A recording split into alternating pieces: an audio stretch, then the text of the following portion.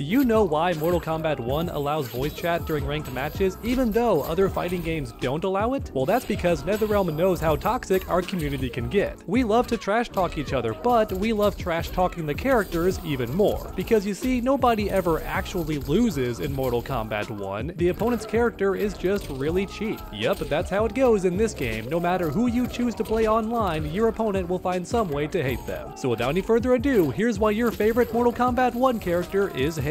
Make sure to post your own toxic comments below and let's begin. Ermac, your offense is insane with tons of cancels and pretty much every attack in the game. And on top of that, your combo damage is fantastic with the right cameo. Kitana, you are safe on everything with good zoning to boot. And when combined with Jax, your mix-ups are actually unfair. If you want a full video explaining that, check it out on screen. Mileena, your combo damage is stupid high, like literally dead in two combos. Plus, you can beat any wake up easily with your godlike overhead. Tanya, when combined with Goro, you have the best pressure in the game. Everything you do is plus on block, and your spin kick breaks armor with ease. Your damage might be low, but thank god for that. Rain.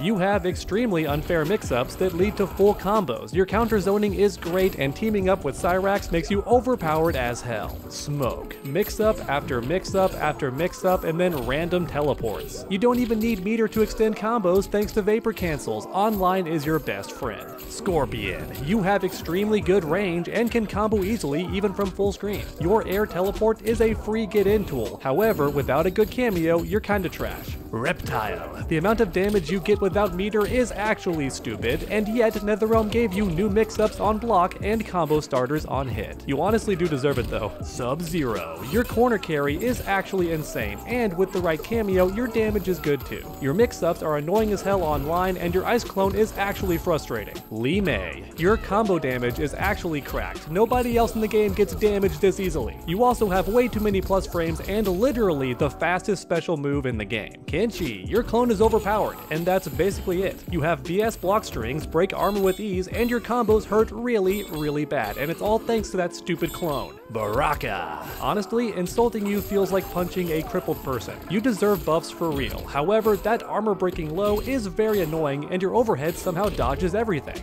Geras, you're way too complicated to be viable in tournaments, so you compensate by bullying players with vicious thrusting and backshots. Omni-Man, you can do everything, have crazy high combo damage, and when combined with Jax, your setups are nasty. Why do you get full combos off unblockables? It's actually insane. Peacemaker, you literally have every attack in the game. Your combo damage is still really good even after the nerfs, and Eagly should be deleted from the game. Nobody, and I mean nobody, should have this many safe mix-ups. Shang Tsung, your stupid projectiles are brain dead and not fun to watch or fight against. NetherRealm needs to fire whoever loves Keep Away this much. Also, why is your Soul Steal useless now? Like it's faster than ever, but it's somehow worse. General Shao, your whiff punish is godlike for no reason, and you walk really fast. With At your side, you have the best command grab in the game, and you kill the opponent in two combos. You deserve it though, King, because you spent all of Mortal Kombat 11 being bottom tier. Sindel, you have the most overpowered mix-ups in NetherRealm history, and that's saying something. I love your lore, but I hope you are never playable again. Reiko, your projectiles are busted as hell, which makes no sense because you're a grappler. Why is your projectile so good, and too many of your attacks are safe on block and you suck in story mode? Raiden, your chip damage makes people delete the game. You have other great tools too, but why bother when your opponent dies while blocking? I'm not even joking, pro players will only pick cameos that keep his lightning attack safe. Liu Kang, you might be fun to watch, but zoning will always be lame, so you're a punk for abusing it. Plus, why can you combo off your throw that easily? It is very cheap. Johnny Cage, you have been terrorizing people since the game's launch, you're still way too plus on everything, and in the right hands, your combos delete health bars and destroy dreams. Kung Lao, your gameplay is somehow boring and cheap at the same time. You always go for the wake up attack because it's safe on block, and with the cameo, you can combo after it. I understand how good it is, but please can you learn a new trick? Ashrah, you're a literal handicap for the player because everything you do is great. You don't even need a cameo partner to be top 5 in the game, although you kind of do deserve it after being gone for decades, and let's be real, you're not going to be in the sequel. Nitara, why can't you combo off your throw? Why do you have the lowest health in the game? Why is your voice so annoying? Why is everything you do unsafe on block? Why does NetherRealm hate you so much? Havik, you're downright gross to watch, and with Mavado, your mix-ups are more disgusting. Your projectiles are plus on block, but your damage kinda sucks. You deserve buffs, but good luck with that. Quan Chi, you are hands down the best zoner in the game, and NetherRealm still buffed you. You're actually unfair outside of tournaments with your guaranteed trap reset nonsense. Alright everyone, and there you have it, why your favorite character is hated in Mortal Kombat 1. If you can think of any more godlike roasts, then please post them in the comments down below. Wow, this video is short, like way too short. How did this happen? How did I cover every single character in Mortal Kombat 1 and yet we're barely at the 5 minute mark? Isn't that almost 30 characters? I think the roster in this game has almost 30 characters.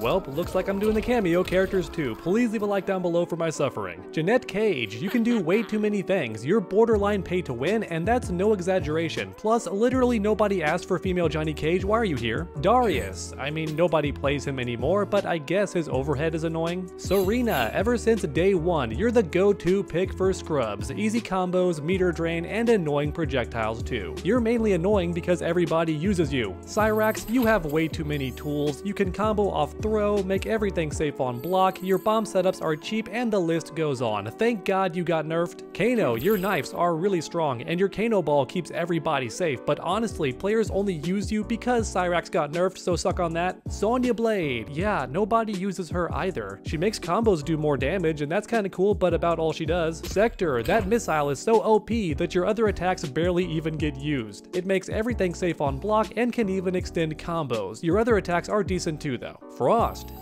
Enough said, nobody uses you. Jax, you have the most unfair setups in the game by far. That unblockable attack should actually get deleted from the game. Khameleon, how's it feel to be the most overpowered cameo in the game? Does it feel good? I bet it does. Especially since NetherRealm refuses to nerf you for some unknown reason. Stryker, you used to be crazy good, but then NetherRealm nerfed you. Your grenades are still annoying though, and you got some other good attacks too. Scorpion, how's it feel to get replaced by Janet and Khameleon? Like seriously, does anybody play with you anymore?